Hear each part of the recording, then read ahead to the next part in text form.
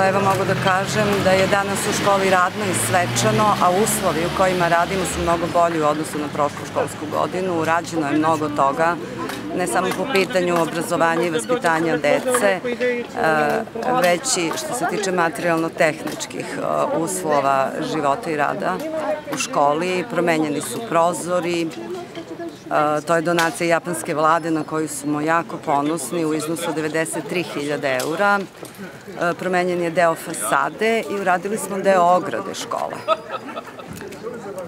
To su neke stvari koje su jako lepe za sve nas. Evo samo da kažemo šta je danas na programu u okviru svečanosti podom dana škole? Danas imamo u 12 sati dodelu nagrada učenicima za literarne i likovne radove. Imamo u 12.30 priredbu za učenike škole u Domu vojske. U 19 sati je svečana akademija za goste, radnike škole i učenike i u 20 sati je svečana večer.